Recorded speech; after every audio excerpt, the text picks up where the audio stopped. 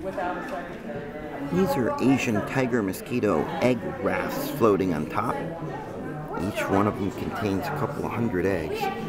Underneath you can sort of see, I think, the moving wigglers, which is what you call the, the larva.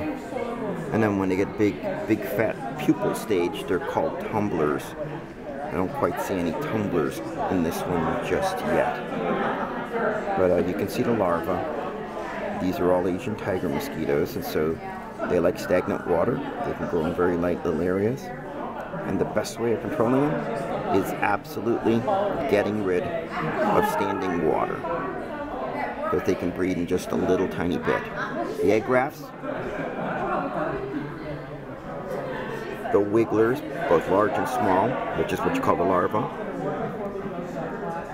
And a nice little display on these creatures that we need to control.